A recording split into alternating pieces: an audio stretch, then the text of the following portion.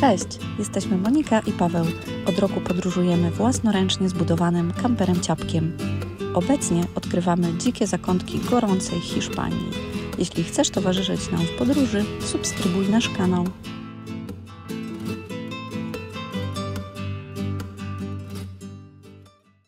Cześć, witam Was bardzo serdecznie w naszym nowym odcinku. Jesteśmy w malutkiej miejscowości El Choro nad zbiornikiem wodnym blisko Tamy, e, skąd zaczniemy naszą przygodę, o której marzyliśmy już od dawna z Moniką.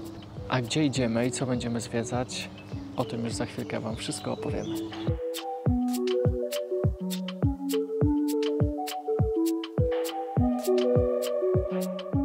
Cześć, witajcie. Paweł już tutaj od rana biega z kamerą, ale ja zanim zacznę funkcjonować, to muszę zjeść śniadanko, napić No. się kawy, bo inaczej to po prostu jestem nie do życia yy, i nawet się pogadać ze mną nie da. Także Nie pogadalibyście z Moniką przed śniadaniem. no, zanim Wam opowiemy, gdzie jesteśmy i co zamierzamy dzisiaj robić, yy, musimy po prostu wspomnieć o miejscu, które odwiedziliśmy po drodze z Granady. Trafiliśmy tam y, zupełnie przez przypadek. Znaleźliśmy dziką miejscówkę między miejscowością Antequera y, i parkiem y, El Tocar.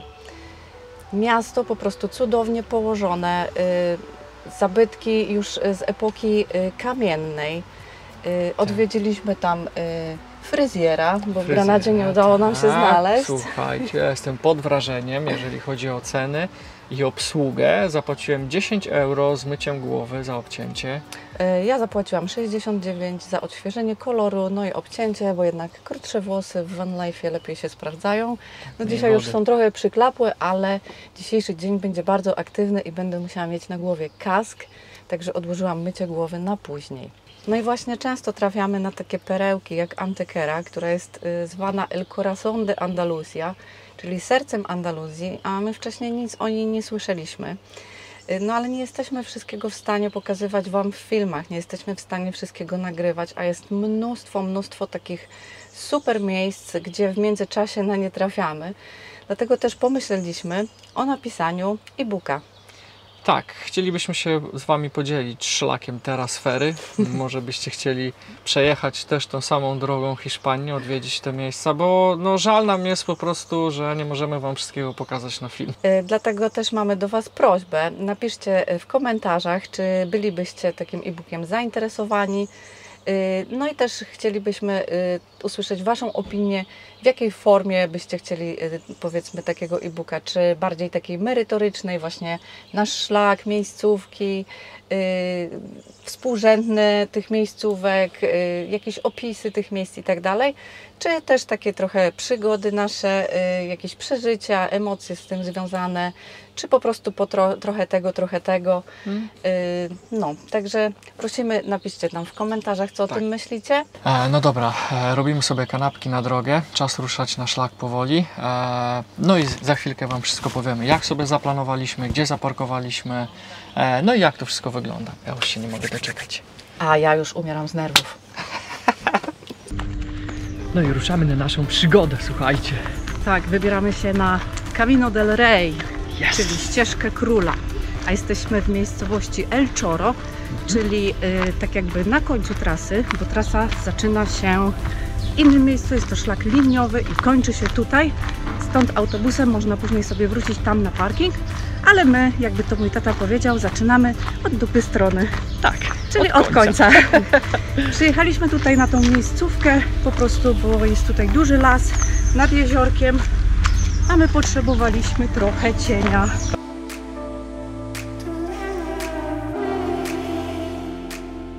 Wydaje nam się, że bardzo fajnie zacząć Caminito del Rey właśnie z tego parkingu, ponieważ słyszeliśmy, że tamte dwa parkingi są bardzo oblegane. Tak, a tam jest pusty, tak jak Tak. już Wam mówiliśmy, jest tu spokojnie. Także zaczynamy stąd, jedziemy autobusem do punktu startowego. Tak, tam przychodzimy, szlak, wychodzimy tutaj, właśnie za nami jest wyjście z, z, kamin, z Kamienito i już jesteśmy przy samochodzie. Jesteśmy już na przystanku autobusowym, który znajduje się przy stacji kolejowej. Można tutaj dojechać pociągiem z Malagi, No i autobusem można sobie dojechać na początek trasy. Bilet kosztuje euro 55 od osoby. No i potrzebne są podobno maseczki, których nie mamy. ¿Vais a coger el autobús que no? Zobaczymy, może się uda. No i okazało się, że maski można kupić u kierowcy. 50 eurocentów za sztukę.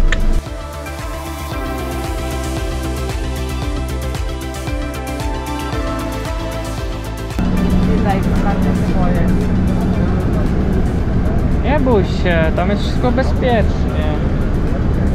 Widzę już te wąwozy, które tutaj mijamy. to po prostu masakra. Ten autobus zatrzymuje się przy restauracji El Kiosk i mamy tutaj do wyboru Caminito del Rey, dłuższa droga 2,7 i krótszy szlak ma 1,8. Także my chyba idziemy na ten krótszy.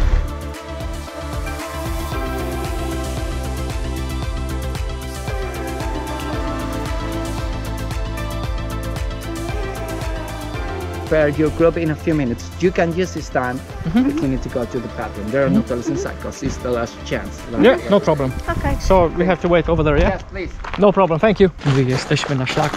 Mamy hełmofony, mamy guide tour, czyli słyszymy wszystko Przewodnika. przewodnika naszego. Dobra, muszę kończyć. Jak Monika, na razie się czujesz? Na razie spoko. To dobrze. Nie jest źle. Jak ta ścieżka będzie taka szeroka, to Będzie spoko, nie bój się.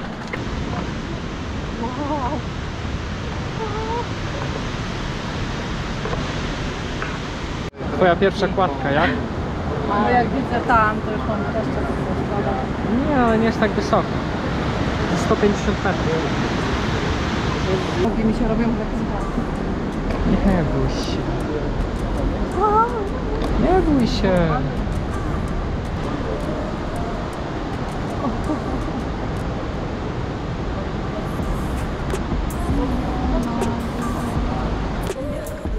Normalnie jest cudownie. Po No i- pierwszym przejściu nie jest źle. Na początku mi się trochę gięły nogi, ale teraz już nabieram wprawy.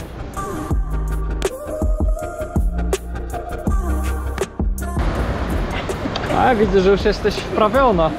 Oswajam się. Ale tu nie ma skały pod nogami. Jak widzisz dziurkę, to jest ciężej. Okej. Ale jest dobrze. A tam za nami biegną tory kolejowe, które właśnie y, zaczynają się od Malagi, przechodzą przez El Chorro i aż ciągną się do Sewilli, I do Kordowy. do Kordoby. Tak, Tak, a linia właśnie- działa od 1858 roku. Tak, Także- był to taki główny szlak właśnie przez te tutaj tunele w skałach, żeby właśnie przedostać się z wybrzeża do reszty kontynentu. Widać tutaj widać jeszcze y, kawałki starej ścieżki Camino del Rey. No nie wygląda to zbyt dobrze, wycementowane takie zapory tutaj przy skale, bez żadnych zabezpieczeń. No teraz jest trochę bardziej bezpiecznie, ale wcześniej no to była to śmiertelnie niebezpieczna droga. Tak, z tego powodu, że ta droga była tak niebezpieczna, zamknięto ją w 1980 roku. No ale ludzie jak to ludzie szukali nowych wejść na tą trasę i właśnie w niektórych miejscach można było z powrotem wejść na to stare Camino. E, No i e, śmiałkowie często kończyli tą eskapadę śmiercią. E, Zginęło bodajże na przestrzeni e, 20 lat, bo chyba w 2014 roku została otworzona ta nowa Camino, ale do tego czasu zginęło 27 osób tutaj. No i przykra historia niestety. Ale dzięki Bogu otworzyli tą nową, piękną drogę i możemy teraz podziwiać te cudowne widoki. No sami spójrzcie tylko na to.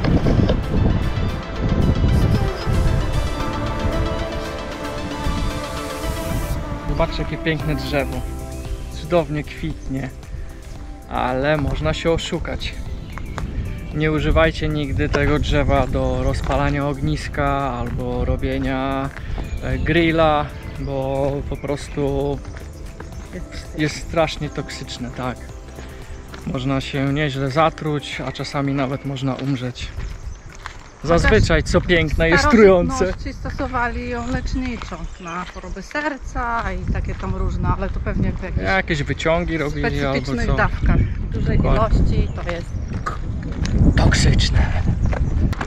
No i teraz idziemy przez Dolinę Ojo. Jest to taki najbardziej przyjemny i łatwy etap tej drogi. Komunice najbardziej się podoba. Zbieram siły na ostatni odcinek, bo ostatni odcinek jest po prostu najgorszy. Ja się najbardziej na niego cieszę.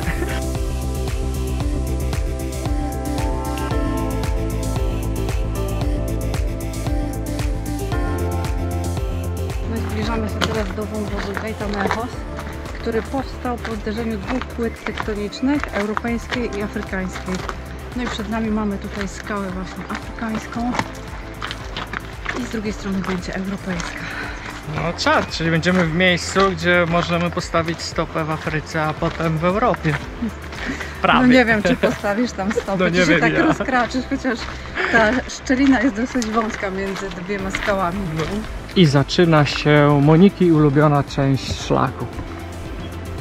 Cieszysz się? No. Zobaczcie na Monikę, jak ona już śmiga. Co, nie boisz się? A gdzie tak było? W Szreku. ja patrzę w dół!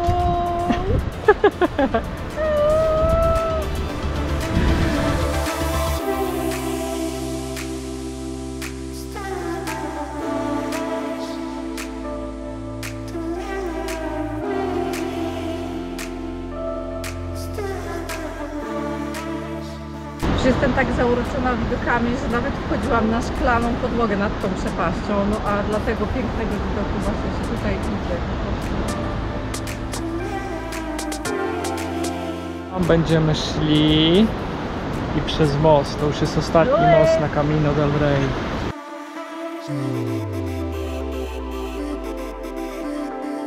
No i właśnie tutaj widzicie jeszcze to stare, drugie Camino. W niektórych częściach już jest pozapadane, No ale nie ma tam barierek. ale nie ma barierek. No bo kiedyś tak się szło właśnie, bez żadnych barierek. Nie, bez barierki to bym nie przeszła. Jednak ta barierka daje takie poczucie bezpieczeństwa. Jest taka bardzo stabilna i mimo, że na początku nogi mi się gięły na tej kładce, Tak teraz to jest czuję spoko, się nie? bezpiecznie. Tak, tak.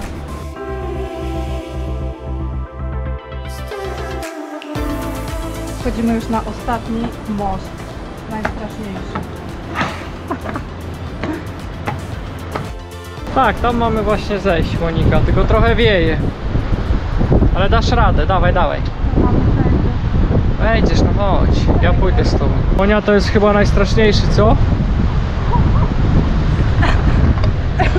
Bo co tam jest pod nogami? Nic. Szykuję. Nie wiem, schować mi przepaści. Ale pięknie. Coś wspaniałego.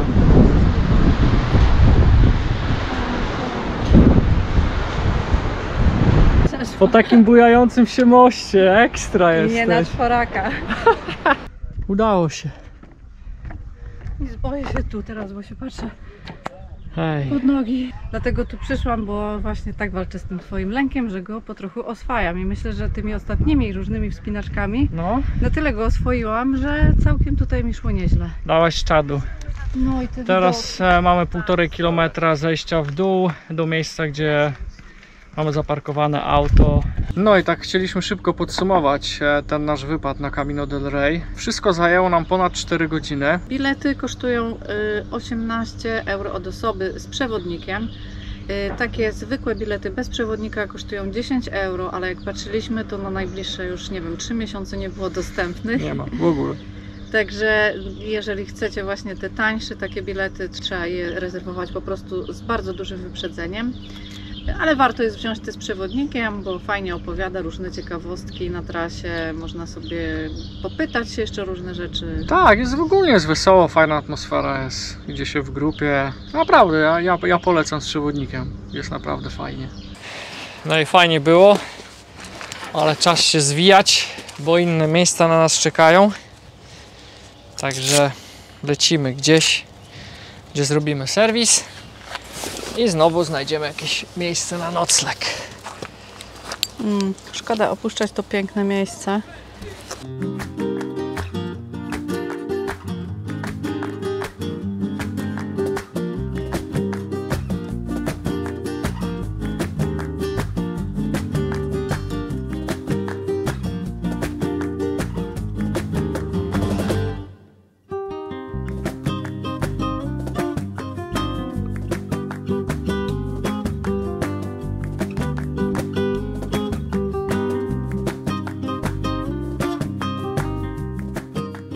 Przyjechaliśmy na serwis. Y, Serwis, znaczy w sumie serwisu nie zrobiliśmy.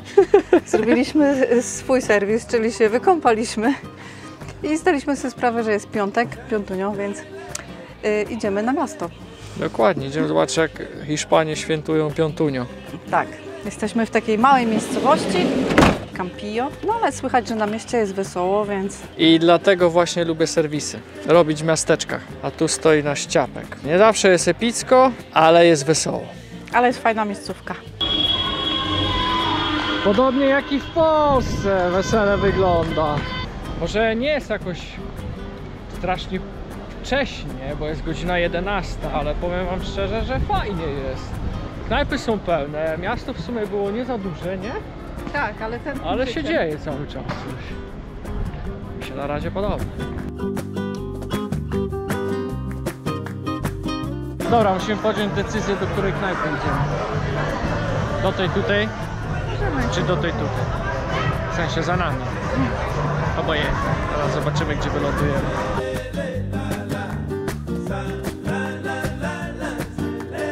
Słuchajcie, jestem w wielkim szoku teraz, e, bo przed chwilką syn właściciela przyniósł nam dwa browarki gratis. Powiedział, że to jest e, prezent, że gościmy u niego w pubie, że jesteśmy jego przyjaciółmi teraz i jeżeli kiedykolwiek coś nam się stanie w tym mieście złego, to żebyśmy do niego przyszli i on tu wszystko po prostu rozwiąże, każdy nasz problem. Ja jestem w szoku. E, nigdy się nie spotkałem w czymś takim. W ogóle już wcześniej powiedział nam, żebyśmy czuli się jak u siebie w domu. Yy, poczęstował nas wybuchowym Jägermeisterem. Tak. A wszystko się zaczęło od tego, że okazało się, że ja jestem kierowcą ciężarówki i przyjaciel właściciela też jest kierowcą ciężarówki często bywał w Anglii. No i tak się rozmowa potoczyła. Ja tak po, e, po hiszpańsku za bardzo nie rozmawiam, ale jakoś się dogadałem. Tak, Super także jak się chcecie nauczyć hiszpańskiego, to najlepiej w miejscowym hiszpańskim pubie. Dokładnie. Tak, a teraz myśleliśmy, że już się wszyscy zwijają, chociaż dzieci tutaj nadal biegają, mimo że już jest grubo po północy. Tak. E, I już mieliśmy kończyć piwko i lecieć do Wana. Batería. Scania. Muy bien, Scania. Ese Uno momento. Kamion? Scania? Si? E, Słuchajcie, spotkaliśmy tutaj super ekipę i polecamy tutaj ten pub. en New Cairo. New Cairo. New Kaido. En Campillo. En Campillo. El sí. Campillos! New Cairo! Fiesta asegurada.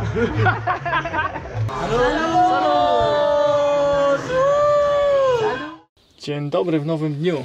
Dzień dobry, my dochodzimy do siebie po wczorajszym wieczorze, bo wczoraj trochę y, długo nam się zeszło, więc dzisiaj musieliśmy to odespać. Tak, no było, w sumie stało się to za sprawą tak miłych i życzliwych ludzi, których spotkaliśmy, z którymi sobie porozmawialiśmy, trochę po angielsku, trochę po hiszpańsku, trochę po polsku.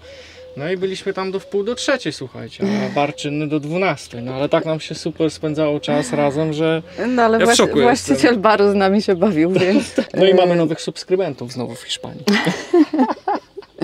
Tak, jakbyście chcieli ćwiczyć hiszpański, to najlepiej w małej miejscowości iść do baru i wtedy porozmawiać z lokalsami. Tak. I najlepiej wtedy można właśnie nawiązać jakieś kontakty. No i zauważyliśmy, że są najbardziej życzliwi ludzie w takich miejscach. Nie właśnie w komercyjnych, turystycznych, tylko właśnie w takich miastach. Tak, nie są tak obojętni, są ciekawi nowych przybyszy, od razu widzą, że ktoś jest nowy, więc e, no. Wczoraj sobie troszeczkę, w, e, że tak powiem, poimprezowaliśmy, a dzisiaj czas na, Na porządki. serwis. który mie- mieliśmy zrobić wczoraj. No ale w sumie miejsce fajne do spania, było całkiem tutaj cicho. Nie jest dzisiaj tak bardzo gorąco, Mhm. Nie. więc mimo, że nie jesteśmy w cieniu, no to też jest fajnie. Naładują nam się trochę, naładowały już nam się trochę baterie. No, wczoraj się do zera wypłukaliśmy i z baterii, i, i w sumie z wody też. No jeszcze trochę jest, także korzystamy z okazji. Sprzątamy wszystko, myjemy podłogi, ruszamy w trasę, tak? tak, zmieniamy pościel. Zabieramy się do pracy.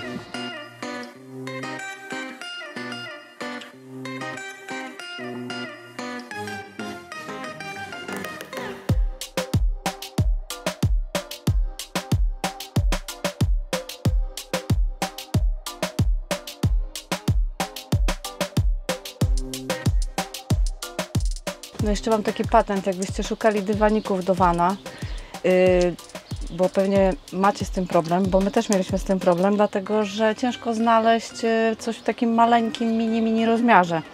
Więc yy, ja kupiłam, to są takie podkładki yy, na stół. Można kłaść na tej stronie albo na tej stronie. Są one takie wystarczająco grube, żeby się tutaj nie rolowały na podłodze, ale są na tyle cienkie, że nie przeszkadzają na przykład przy otwieraniu lodówki. No i są cztery, więc brudne można sobie wyprać, a drugi komplet można położyć. Pachnie świeżością. Wszystko świeżutkie i czyste i nie ma kurzu. Jest wszystko wyzmywane. Super. Także wczoraj zostaliśmy na kolejną nockę i serwis zrobiliśmy dzisiaj. No i znowu posiedzieliśmy z Alfonsem, z Mario, z Pedro, z jego synem. Znowu posiedzieliśmy do pół do trzeciej. Ale było super, naprawdę przesympatyczni ludzie. Kiedyś tutaj będziecie, to musicie ich odwiedzić w ich pubie. Campillos. Campillos, tak. Ja już wam mówiłem, jaki to jest pub. Dobra, lecimy teraz Lecimy dalej, dalej. bo już się robi, kurde, bardzo gorąco. A no i nie wiem, gdzie jedziemy. Zaraz zobaczymy na Google Maps, gdzieś tam pojedziemy. Wiemy, gdzie jedziemy. Tu mamy Malagę. Tutaj ta gwiazdeczka to jest Campillos. A pojedziemy. Pedro nam polecił w ogóle wczoraj taką miejscowość Teba. No i znajduje się tutaj właśnie niedaleko w sumie, także zajedziemy, zobaczymy jak to wygląda.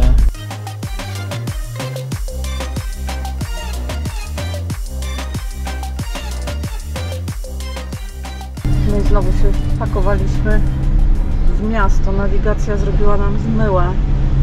No wkurza mnie ten Park Fortnite, bo jak mnie przekierowywuje na Google Maps, to mi wymyśla w ogóle jakieś drogi, że niby już jestem na miejscu, a potem mi nagle pokazuje, że jechał w ogóle inną drogą. Ale w ogóle kieruje na jakiś inny punkt po prostu. Trzeba pilnować, bo ja nie wiem, czy my tędy przejedziemy. przejedziemy. Dobra, pokazał nam tutaj motocyklista, że przejedziemy tędy. Uważaj kazał tylko wiem, na kazał nam- balkony. Kazał nam jechać za, za sobą. No ale tak chyba właśnie wygląda Teba, bo chyba jesteśmy w tym miasteczku. Nie no, tak, tak jest. Co tu będzie?